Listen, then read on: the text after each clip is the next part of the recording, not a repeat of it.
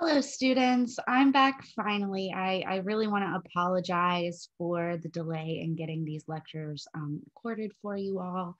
Um, it was absolutely not my intention. Um, I also wanted to say that I just really appreciate um, all of the caring and support and patience you all have shown me. Um, I really, really, really, really greatly appreciate that. Um, it wasn't what I was looking for. I was really just um, hoping to let you all know that I'm not trying to blow you off, that you are important to me and that this class is important to me. Um, and I also wanted to say that I hope that each and every one of you are thinking um, of your classmates with the same type of concern and care that you've shown me. I think that we're all dealing with some very difficult things right now. Um, so if we can, as a community, kind of be sending our warm thoughts and support across the Canvas page to one another, um, I just think that that's the best thing that we can do um, as a community right now. Anyways, I'm done lecturing um, on moral things and I'm going to start lecturing on our topic. Um, today, we're going to finish up talking about independence in Latin America, and I'm also going to talk about abolition. Now, independence and abolition do not take place at the same time. Um, this is the same as it takes place in the United States. However, there are some very major differences to what happens in Latin America to what happens in the United States. So um, I'll, I'll talk a little bit so we can get the comparison and contrast going with our own US history.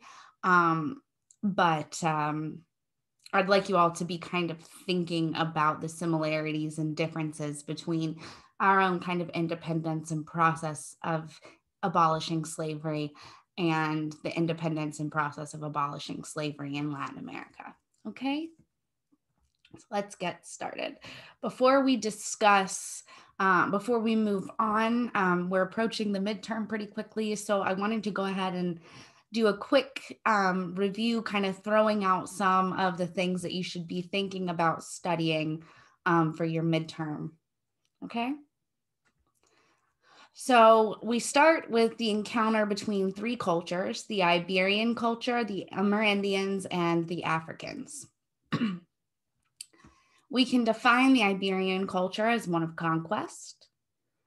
So um, remember that the Iberians had to reconquest their own peninsula from the Moors.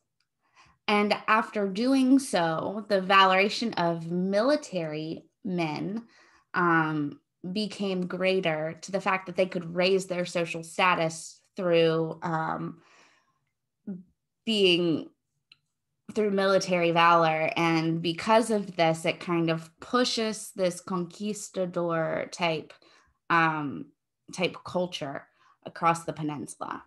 You also have the strong relationship between the Catholic churches and the monarchs, and the idea that the reconquest of the Iberian Peninsula um, was proving that the Catholic God was the true God, the powerful God.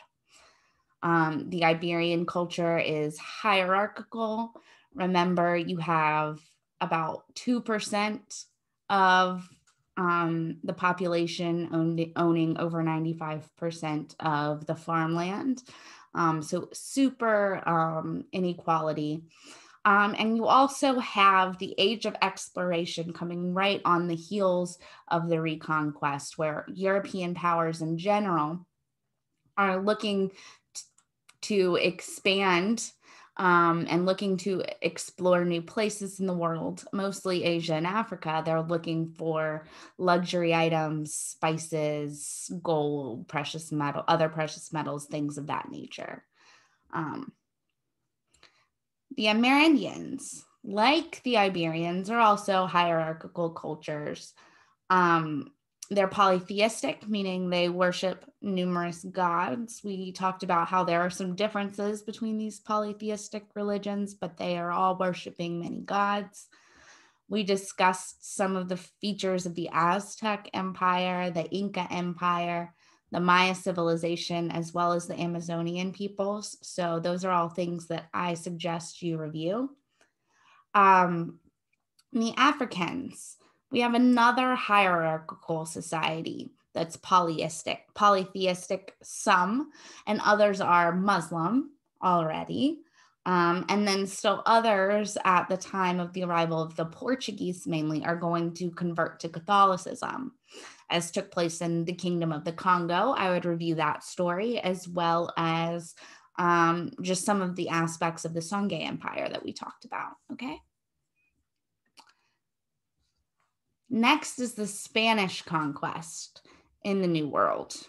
So I would review Christopher Columbus and his arrival at Hispaniola and what happened um, and how he conquered the island. Um, this is also where the slave trade begins. I would um, review why that happened. Um, if you remember, um, they pressed the indigenous peoples of Hispaniola into um, mining gold and basically wiped the population out. And that's why the Spanish began to allow the importation of African slaves into the colonies in the New World. Next, we talked about Hernan Cortes and his conquest of New Spain. So I would review the conquest of Tenochtitlan and the role that Doña Marina played. Um, then you have Francisco Pizarro and the Inca Empire. Um, now, after the conquest of the Inca Empire, there are some issues with between the conquistadors and the crown. Um, I would review that. That leads to the passage of the new laws and the laws of Burgos. Um, and both of those have to do with some of these new debates that emerge in Europe um, such as a debate over whether indigenous peoples are in fact human or not, and also the debate over the conquest. Also, I, you need to recall that Brazil has a different history. The Portuguese and indigenous peoples had pretty friendly relationships to begin with. Um, there was no war of conquest in Brazil as there was um, across Spanish America. Um, indeed, the Portuguese and the indigenous peoples in Brazil, the Tupinamba, um, they worked together um, harvesting Brazil wood. Now, eventually, um, the practice becomes more exploitative. The Portuguese began seriously exploiting the laborers. Um, by this time, there are too many Portuguese men and they're too integrated like they have concubines and wives um, who are indigenous and their children are mixed race. And so they're too um, entwined into these communities at this point for there to be a real rebellion. So it's squashed very quickly. Um, over time, Brazil begins to develop its monopoly um, on the sugar trade in the Northeast. And that is when um, the Portuguese began importing massive amounts of slaves to northeastern Brazil. So, how does colonial trade work? If you remember, the colonial powers Im- imposed this system called mercantilism, a trade system in which colonies exist solely for um, to enrich mother countries so they inv- provide raw material cheap raw materials um, for European factories and they buy manufactured European goods.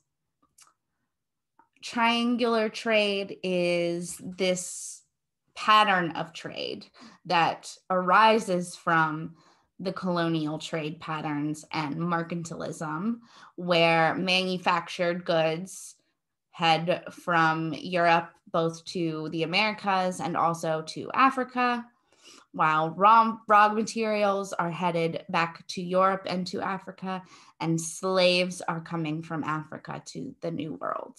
Um, there are some slaves headed into Europe, um, but there are not as many slaves in Europe. Um, there are more house slaves. They work in houses. They there aren't as many out on plantations um, in Europe in Spain and Portugal some, but not in Great Britain. And that we'll get a little bit more to that. Um, that helps to explain why the British become the first major power to push an end um, to slavery.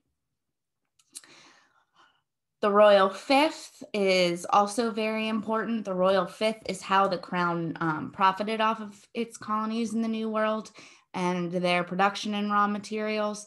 The royal fifth was the one fifth tax on silver to begin with, but it also applies to sugar and gold and all other raw materials that are exported back to Europe. They take a 20% tax. They own 20% of it. That's the royal fifth. In Spanish America, silver is king. It is the primary resource that um, the Spanish are after um, once settlement really begins to take hold. Um, and they realize that gold is far more difficult and far less plentiful.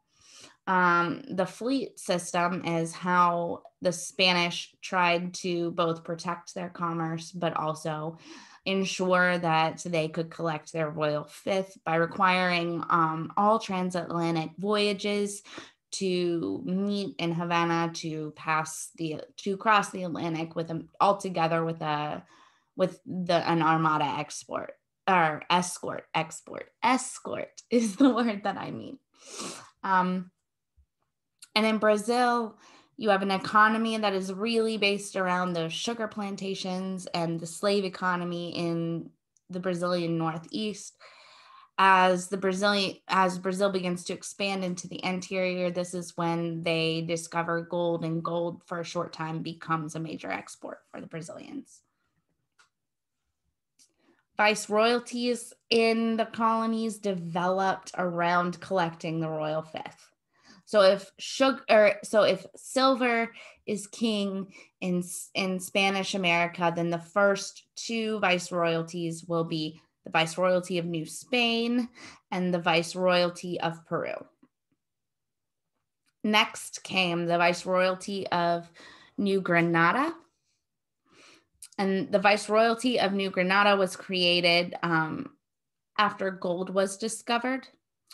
Um, and then the Viceroyalty of Rio de la Plata down in Argentina that was created um, to help stop the silver um, from evading the royal fifth by sneaking down the rivers and out through Buenos Aires um, and avoiding that fleet system. Uh, Brazil has fewer viceroyalties, and their viceroys are much less um, have much less authority um, and the the authority the colonial authority is originally in that northeast around Salvador um, as when sugar rules the economy but later when the emperor comes Rio de Janeiro and those lower um, viceroyalties are going to become more powerful here we have core in areas versus fringe areas. So these core areas are these more urban areas where the Spanish, where there are more Spanish people or Portuguese people living, um, more Europeans anyway. Um, these are the areas that produce um, the primary um, exports. So we're talking silver and uh, sugar. And so these core areas would be, say, Mexico City, um, or Lima, Peru, or Potosi, or Buenos Aires. While the fringe areas have very little colonial administration, very little um, resources that the Spanish and the Portuguese are interested in. And so um, those fringe areas tend to not um, be quite as Hispanicized or Iberianized, however you want to put that. You have conflicts between Creoles or the native sons, who are European descendants born in the New World, and peninsulars, um, those Europeans who come and settle in the New World after being born in Spain or Portugal, because they're competing over control over um, for these high administrative posts that can become very lucrative, right?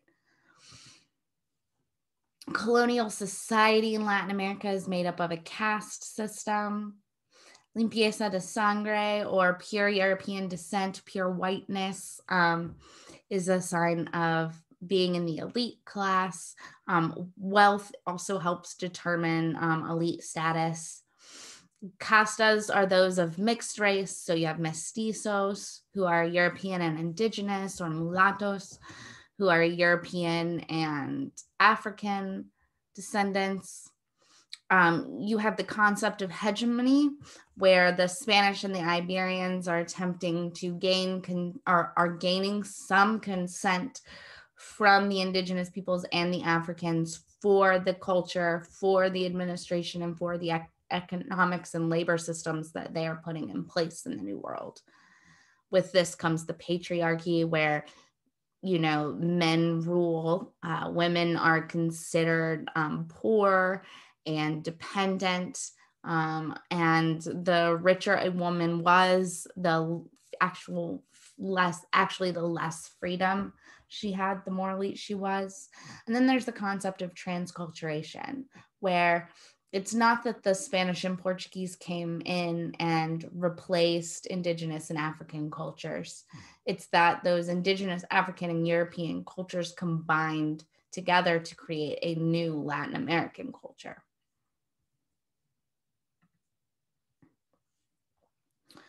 The Catholic Church um, and its role in the colonial project is something that you should be aware of before you approach your ta- your test. So, papal domination is the was um,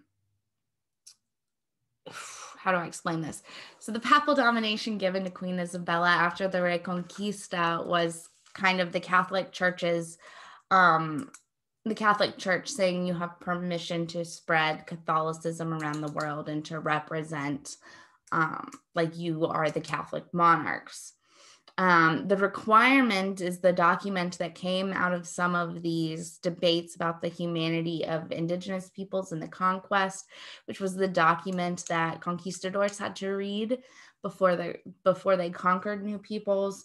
Um, telling them that they needed to accept Jesus, you know, the Catholic God, and they needed to accept um, the Spanish monarch or um, they would be destroyed. Um, evangelization is a big part of the papal domination. So Queen Isabella and the Spanish are required to evangelize the natives. And there are challenges and solutions to this evangelization project. You should be um, reviewing those. Remember that the Catholic Church um, is given agrarian tithes, the largest um, revenue source in the New World. And so it becomes a huge economic institution with a lot of wealth and power and the largest landowner in Latin America during the colonial era. Um, it also controls education for all castes and is, as such, um, one of the institutions that comes to the New World that helps to promote this Iberian cultural hegemony in the region.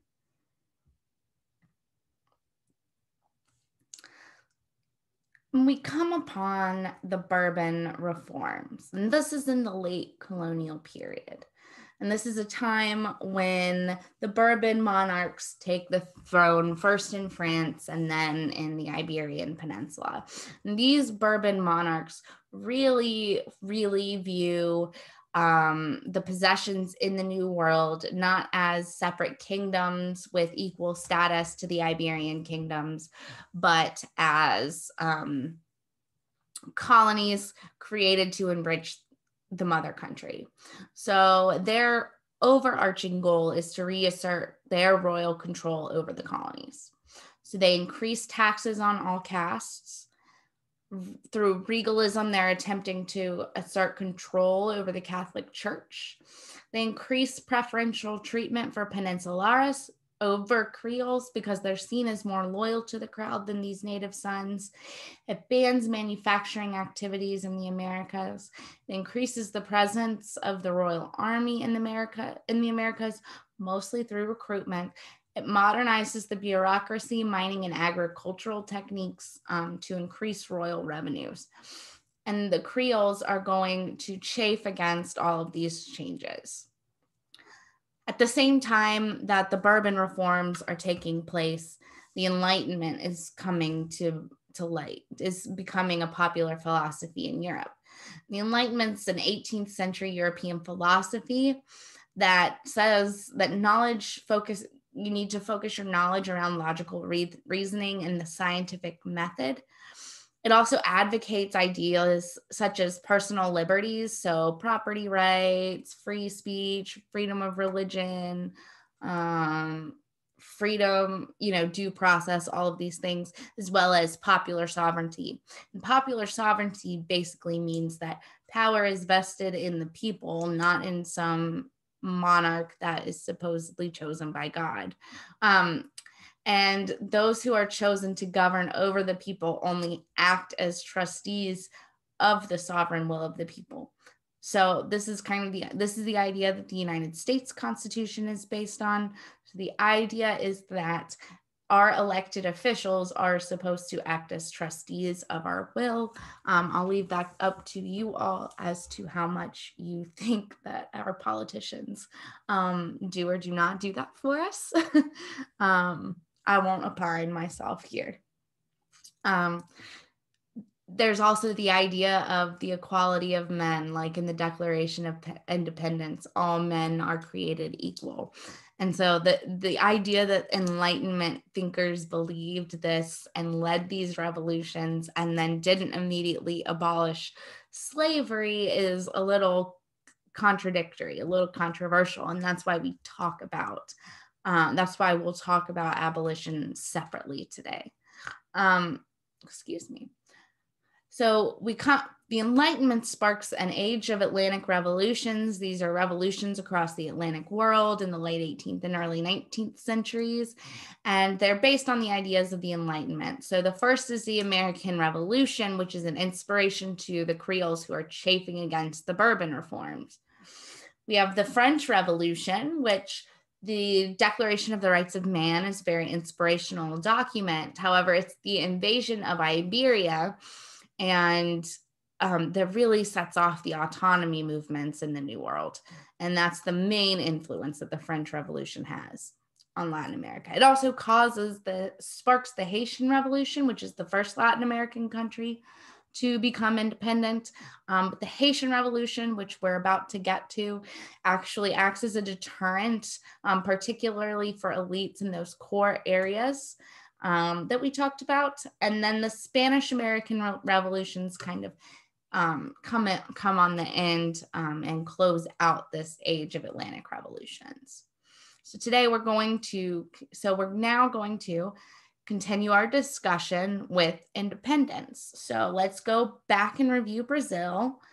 And Emperor João flees, flees Portugal for Rio de Janeiro when Napoleon invades he gives Brazil this autonomy that the Creoles are asking for by elevating the kingdom of Brazil to equal status with the Portuguese. This is what those Spanish rebels want. They open free trade with other European powers for Brazilians. This is another feature of autonomy. They're no longer um, having to trade only with Portugal. They can now trade with Great Britain or the Americans or um, the French or the Spanish. Um, this is another thing that the Spanish rebels really wanted in Spanish America. He returns to Portugal to put down a, liber- a liberal rebellion, leaving his son Dom Pedro I as his regent.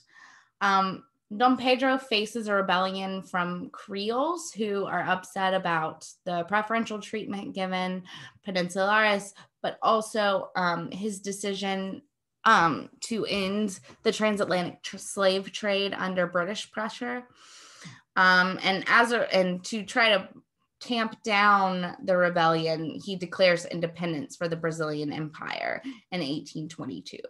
Um, so there's some conflict in Brazil, but there's no widespread independence war um, such that will engulf much of Spanish America. So this is where we left off yesterday. We've got wealthy Creoles resenting Bourbon reforms, elites in fringe areas resenting elites in core areas because they have all these trade preferences. We have the Cortes of Cadiz, um, those cortes that um, that were organized in Spain following um, following Napoleon's invasion. Um, they refused to allow representatives from the colonies in Americas. And then you have the inspiration of the Enlightenment, the American and the American and French revolutions. I mean revolutions, right? You guys got that, okay? Check your work. I should check mine too. anyway, the and we talked about some of these early pushes for independence that and remember, all of these have pretty much been quashed by the Spanish army by 1815. So, first we have Mexico, the rebellion led by Father Miguel Hidalgo and Father Jose Maria Morelos. Later, we have Venezuela and the rebellion led by Simon Bolivar. He fails in this early attempt because he he fails to gain support from elites in the interior agricultural areas, so like the large landowners. In Argentina, the Creoles are able to kick the peninsulars out of Buenos Aires, but in the interior, the elites remain loyal to the crown. In core areas like New Spain or Mexico and Peru, um, many of the elites are very, very cautious and wait a very long time to um, to discuss independence because they retain these memories of earlier rebellions um, and they fear that they're going to, without the Spanish, lose control over indigenous mixed race and African masses. There's also the Haitian Revolution and the violence of the Haitian Revolution um, that deters them. And we'll talk a bit more about that um, when we get to abolition. But for right now, I want to go ahead and kind of finish the story of independence in South America and the Mexican Empire. So, after those early failures, independence leaders in Latin America develop a new strategy, and this new strategy is known as nativism. Nativism um, was supposed to help these elites gain popular support for their bids for independence from Spain.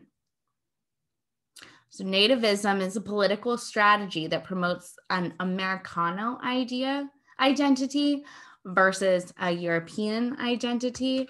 Um, basically, claiming that all of those born in the New World are in conflict with foreign Spanish colonizers.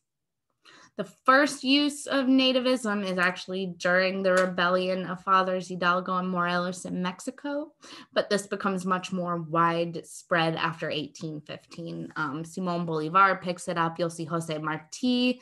Um, he will use nativism, and um, you'll see that when we get into uh, your module activity, or you should see have seen that if you've already done so um, that you'll be using, uh, you'll be looking kind of how nativism played a role in the discourse of independence. So here we have Simon Bolivar. He had the early defeat by Ferdinand VII's forces, but he uses nativism to attract the agricultural elite to his independence cause.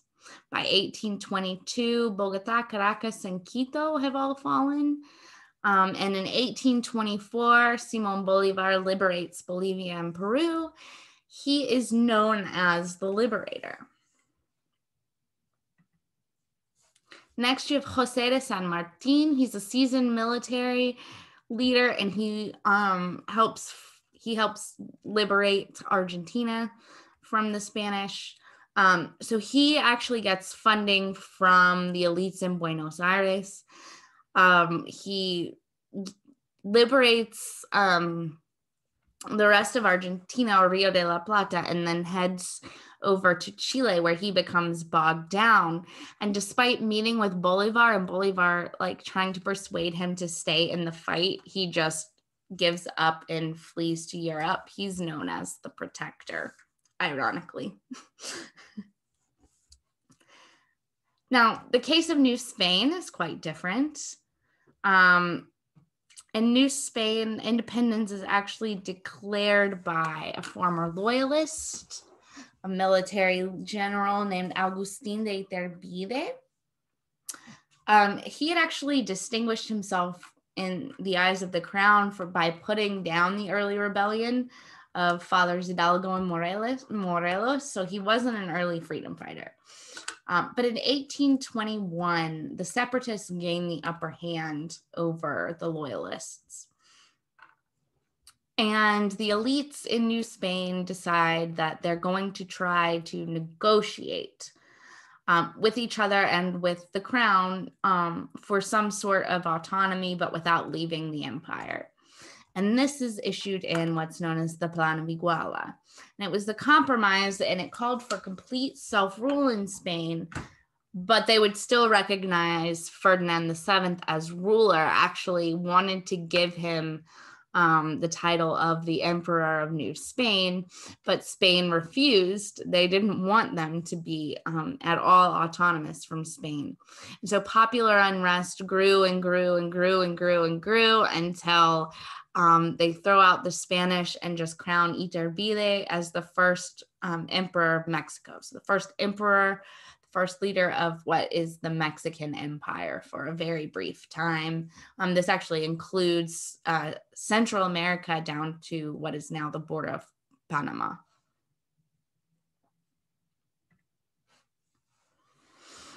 Now, these patriot and loyalist armies um, include indigenous peoples, free and enslaved blacks and castas providing a chance for social mobilization. So even though elites are leading these armies, the bulk of the forces are these castas um, and these, these lower classes.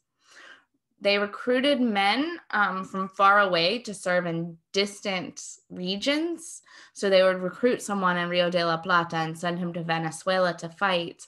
Um, and this would lessen the chances that they would desert um, but it also in, increased instances of disease, malnutrition, and death because they didn't have their families nearby to help supply them. As in most wars, all wars, women suffer the most, um, but many of them participated. Um, a few famous examples here, this picture is of Manuela Sáenz, uh, she was Bolivar's mistress and worked closely with the liberator, helping to kind of persuade and spy on the elite in Lima. And then in Mexico, we have the famous wife of the corregidor of Querétaro, who acted as a spy for patriot troops. Um, you also have women who are doing things like bringing supplies and food, acting as nurses, um, trying to save people's lives um, taking care, trying to defend their homes and whatever livelihoods and their children um, as the wars are raging. So women play a role um, in these wars, if even if they are not often spoken about. So as you can see, most of Latin America is independent by this time. But just because they've gained their independence, old hierarchical social structures are going to maintain a lot of rev a lot of relevance. You're still going to have elites relying on enslaved and indigenous labor. You're still going to have these racial and class categories into castes. And the struggle to decolonize Latin American politics, society, and economics were on long past independence, some would argue, even until this day.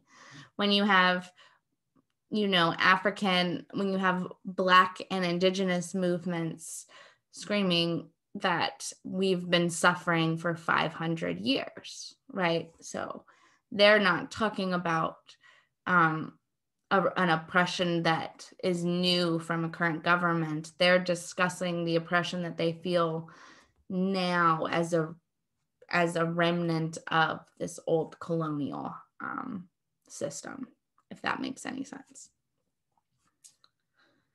So that's independence. Now we're going to talk about abolition. I'm going to do a little bit of a review about the transatlantic slave trade. We'll talk about the Haitian Revolution, and then we'll talk about abolition throughout the rest of Latin America. So, some of the independence leaders, Simon Bolivar included, actually supported immediate emancipation.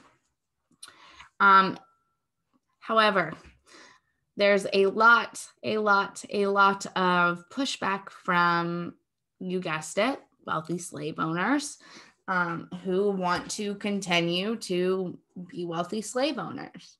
So, new liberal constitutions reflect ideas of popular sovereignty, but they're very limited. They don't abolish slavery, and they're limited in many of the same ways as they were in the United States. Like women can't vote, indigenous people can't vote, black people can't vote. Um, if you don't own property, you can't vote. All of these things. Um, in fact, the abolition and what's different about abolition in the United States versus what happens in most of Latin America is that in the United States, there's a civil war that abolishes slavery. It's like a one and done thing. Um, in Latin America, there's this process where through legislation, um, slavery slowly comes to an end. So here are these two maps, and I want to put them side to side because I want you to see um, why one of the factors that contributes to when um, a country actually finally abolished slavery. So if you look at this map here on the right hand side, you can see numbers of enslaved people who were brought across the Atlantic Ocean from Africa. So you can see that the regions that have the largest volume of slaves arriving, enslaved persons arriving, are the US South, the Caribbean islands, um, and Brazil. And if you look at this map on the left, um, those countries that abolished slavery earlier had a lower volume of slaves to begin with, while the countries who abolished slavery later had a higher volume of slaves. Therefore, they were much more economically dependent on the institution of slavery. But they're also, um, but they're also much more afraid of what will happen if um, slaves are given their freedom.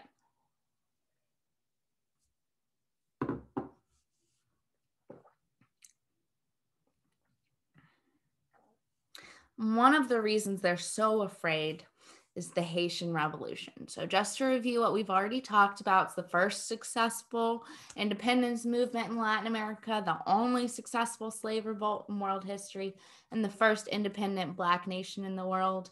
We'll see that racial violence um, during the revolution is going to increase the fears of colonial elites over slave and or popular rebellions um, the Haitian Revolution is incredibly interesting. Um, I'll talk a little bit about the French caste system um, because the racial kind of categories in the French colonies were very different uh, were a little bit different than they were in the Spanish colonies or in the rest of the United, what would become the United States. Mike Duncan's Revolutions podcast does a season on the Haitian Revolution that is really great. Um, if you want to check that out, I highly recommend it. So let's start with the colony of French Saint Domingue. All right, it Domingue is actually on the island of Hispaniola. Um, when the gold runs out, the Spanish kind of just let the French take over the western half of the island. Um, enslaved Blacks and Africans make Saint Domingue the most prop- profitable colony in the Western Hemisphere very quickly. It was the number one market for the transatlantic slave trade and coffee and sugar produced by slave labor accounted for two thirds of France's overseas trade. So that's from all of its territories. And the French Revolution causes a split in the elite on Saint Domingue between those who are loyal to the royal to the crown and those who are patriots and in favor of the revolution. Conflict between these elites causes creates this opportunity and in 1791 the slaves of saint domingue launch a rebellion so a little bit about um, slavery um, under the french code noir which is a slave code Um, we had them in the United States. The Virginia Slave Code is the most famous, and it is one of the first. And um, slave codes are actually the documents that help um, that help to solidify the idea of race um, in the New World. Um, so the French Code Noir is a 1685 edict from King Louis XIV himself. It both regulates and protects the institution of slavery in the French colony. It begins the law of the womb, um, that practice of hereditary enslavement that we've already talking about. Um, it forbids slaves from congregating, carrying weapons, participating in commerce, participating in legal proceedings as the defendant or the plaintiff, or even marrying without permission. Those are some of the ways that um, the, the Code Noir protects slavery or um, regulates slavery. Some of the ways that it protects the institution of slavery is by forbidding masters from freeing slaves without permission, discouraging Frenchmen from taking enslaved women as concubines or wives, forbidding punishments like mutilation without permission from an authority, um, keeping encouraging them to keep enslaved families together, um, and requiring masters to convert the enslaved to the Catholic faith. It also instituted harsh punishments for rebellious slaves or runaways. Um, we'll talk a little bit more about those. By 1789, Haiti is, or Saint Domingue is home to half a million slaves. Um, Saint Domingue has the highest mortality rate for enslaved Africans in the Western Hemisphere. Half died within just a few years of their arrival. Um, some of the common punishments were torture, uh, beatings, whippings, burnings, brandings, amputations, and rape. Um, one of the more unsavory things that they would do is muzzle slaves who were caught eating sugar cane in the field. Um, and as you see here, this is a flogging being carried out by a slave who is an overseer who has power over another slave. This is one of the ways um, that they kind of get a sort of consent from the enslaved. It's ugh. But despite these conditions, there is pre revolutionary resistance to the institution of slavery.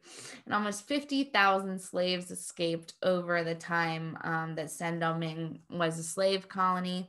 These, these escaped slaves are known as Maroons, and they would form settlements very far from the French and occasionally conduct raids for supplies and weapons on plantations. Um, enslaved people rebelled by poisoning their masters. Um, other slaves and livestock. Poisoning was so common that um, poison was actually made illegal on Saint Domingue. And then enslaved people would often set fire to fields and plantation homes um, just to destroy the wealth of their masters. Another form of resistance was the maintenance of African cultures. So Haitian voodoo grew from a combination of African religious practices and the Catholicism the masters tried to um, push upon them. Um, so as you can see in the picture up top, you have Catholic um, and voodoo symbols alongside each other in this altar piece. So, enslaved Blacks and Africans in Haiti, and this is true kind of throughout Latin America, would meet on Sundays, the day of rest, to practice voodoo. And these meetings would not only be places where they could practice their own cultures, but they were places where they could organize together and plan resistance movements. And so, legend has it that the night before the slave, re- slave revolt that began the Haitian Revolution, um, there was a voodoo ritual called Bois um, that was performed that's that told the Haitian slaves that it was time to rebel. Um, and if you look closely in the picture, you will see a priestess standing by the fire. She's dressed in red. Um, supposedly, she's possessed by the soul of this black pig that they murdered. Um, and and that the soul of the pig was a god that told them that they would be victorious. And so on the next morning, the slave revolt began. Now, the war is very, very, very, very complicated. Um, the slave rebellion continues and it drags on. But in 1794, the French, in the midst of their popular revolution, abolish slavery in the colonies and designate all freed Blacks and Africans as French citizens. Now, free people of color, um, they're mostly mulattoes, um, but they were freed, um, blacks or mulattoes, basically. They join white plantation owners in opposing abolition because many of them themselves owned slaves. So, led by Toussaint Louverture, Black and African Haitians and their Patriot allies defeat the French and their allies on the island and gain control of the island of Hispaniola. However, he does not declare independence. He's afraid if he declares independence, not only will the French um, be fighting against him, but other European powers will try to prevent this from, from happening as well. So he's very careful not to declare outright independence. When Napoleon comes to power, Louverture is afraid that he'll reinstate slavery. So he organizes a constituent assembly and writes a constitution. Didn't declare Haiti independence, it independent, it just declared a special set of rules for, for Haiti's part in the Caribbean of the French Empire. So all men are born free and equal and it established private property rights. It abolished slavery, but because the plantation economy was so um, important, Louverture forced Blacks and Africans to return to some of the same plantations where they worked on before the revolution. However, they were not slaves and they were, um, and they did have slightly improved working conditions. Napoleon tries to respond or responds by trying to take over the island. And the general he sends, Rochambeau, is notorious for his brutality. Um, Louverture is killed, and a new leader, Jean Jacques Dessalines, becomes takes over the fight. And in 1804, Dessalines declares independence for Haiti. Under Rochambeau, um, the French forces commit numerous atrocities, and Dessalines responds by ordering his two troops to attack white French people on the island. Once they gained independence, um, Dessalines viewed the white French as a threat to national security. He would prevent them from leaving the island and ordered the massacre of all white people on the island by the end, almost all the whole white population of Haiti had been completely wiped out. And white French people who did manage to escape took stories of massacres to slaveholding elites in countries where slavery was um, still a big deal, including the United States, Cuba, Brazil, and, and elsewhere.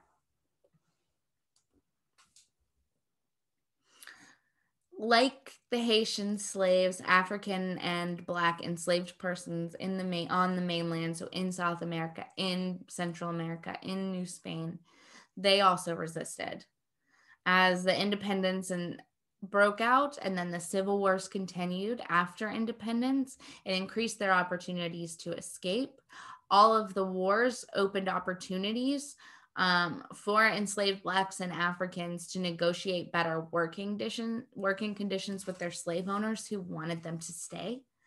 Um, they also formed organizations you have and and um, have their own cultural traditions like Santeria in in Cuba or um, some of the other African traditions that you can find in Brazil. Um, that was done throughout and um, they were also given the opportunity to serve both in patriot and um, royalist armies um, and then the liberal and conservative armies that fought in the civil wars um, to gain their independence um, many did so um, black mixed race and indigenous soldiers are the majority of the fighters on the front lines. Um, they were often um, not given weapons and used as cannon fodder. Um, and so it wasn't necessarily a great way to go about trying to, to earn one's freedom.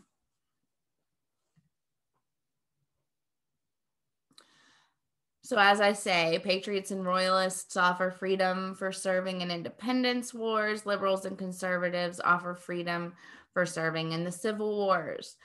Um, as the wealthy plantation owners oppose abolition, liberals become more and more likely to support abolition. And they begin um, a process of gradual emancipation um, that cycles through civil the civil wars um, and into the national legislation.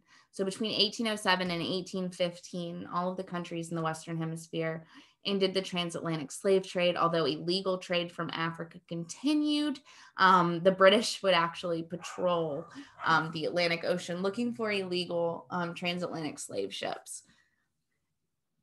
Um, in between the time of the end of the slave trade and the beginning of abolition, which are the 18 and, and final abolition, which for some is the 1820s, for some is the 1840s, for other it's the 1880s um, they began to pass these laws that gradually allow more and more people to escape slavery. So, free birth laws in the practice of hereditary slavery. It often, however, tied the children of enslaved mothers to their owner's plantation until a determined made age of majority. No, it's not 16. No, it's not 18. Some of the one of the lowest ages of majority was 25, meaning that they were still working and on this plantation as a slave until they were 25. In some places, I think Peru, the age this age of majority was 50 years old. So it's your entire working life, right? Um, so not not the best, but it does in the practice of hereditary slavery. Um, and then there are a set of laws that provide emancipation for enslaved persons above a certain age. Some of the lowest were 50, and some of the oldest were 80. And I don't know how many people you knew who were, how many people um, in history were living till 80 years old in the 19th century. There were some, but not that many. And they certainly weren't um, weren't very many who were working as slaves on plantations, doing backbreaking work day in and day out with nothing, you know, with very little rest and very little medical care and no, yeah. So I just, just think about how much, how serious these laws were at emancipating people. Now, there are some exceptions. These are the the last countries in the hemisphere to abolish slavery. So, in quote, you know, in parentheses, we have the United States. The United States is very far behind um, a lot of the other countries. It's it's the fourth to the last country in the Western Hemisphere to abolish slavery, um, and it's the central cause of the United States' only civil war. The you you can um, i i invite any of you who would like to challenge me on that fact um, to do so. It's not something um, that i was taught in school. It's something that i have since discovered. And if you would like for me um, to give you some of that information so that you too can discover it i would be happy to just shoot me an email. Anyway back to latin america. So part of the reason that Cuba and, and Puerto Rico um, do not abolish slavery until so late is because they remain Spanish colonies until 1898. The Spanish abolished slavery in Puerto Rico in 1873 as a way um, to kind of as a way to lessen the power of the planters who want independence. And then and in Cuba, you have the fir- a first independence movement that begins in 1868 that's known as the 10 years war um, that begins with carlos manuel de cespedes declaring independence and freeing his slaves he actually gets a lot of pushback from elites on the island for um, wanting to emancipate the slaves. And um, for that reason, his 10 years war ends in 1878 with little success. But during the 10 Years' War in 1870, a free Moret law begins to free young and old enslaved people and any who fight for the Spanish. And later, the Spain puts a six-year um, time limit on how much longer, how long masters have to kind of rework their plantations around freed labor um, but they don't make it to to the six year mark. Um, the C- Cuban fight for independence is and push for independence is so strong by 1886 that the Spanish abolished slavery, you know, to try to get the loyalty of of these freed freed former slaves. Now, Brazil also has a gradual process of emancipation, remember, Brazil doesn't have any independence wars and they don't really fight any civil wars. So there aren't a lot of opportunities for gaining freedom through warfare or through escape in Brazil. Um, but it passes through a stage of three laws. In 1871, um, the Free Womb Law, ends hereditary slavery. In 1884, the sexagenarian law and frees enslaved people once they turn 60. And then in 1886, the Golden Law abolished slavery um, finally. So that is independence and abolition. Um, let's talk a little bit about some of the assignments you had for this week. If you haven't gotten to them or you need to get, or after this lecture, you'd like to get back to them, please, please, please, please, please do so. Um, I don't have a problem with that. And um, if I get to grading this week's assignments and I see that my failure to get um, this lecture up sooner has caused uh, problems for you all, um, I'll think about um, reopening those assignments and allowing some of you to resubmit them. We'll see. We'll see how we do. I actually think that you all will be fine, but I just want, um, but I don't. I want to make sure we're fair. Um, so, anyways, as I have mentioned before, your module activity will have you look at nativism in the writings of a Cuban independence le- leader, Jose Martí. And then for your Latin American thought activity three, the summary and the analysis, I, you need to read the work. This is the time where you, you need to actually read the piece you've been assigned. Um, you should write me a summary that tells me both that you read and you understood your assigned writing. Um, this is a good time for you guys to start asking me questions if there are things you don't understand about your reading. Um, and then the quotes you choose should address the prompt, the legacies of colonialism in Latin America, very directly.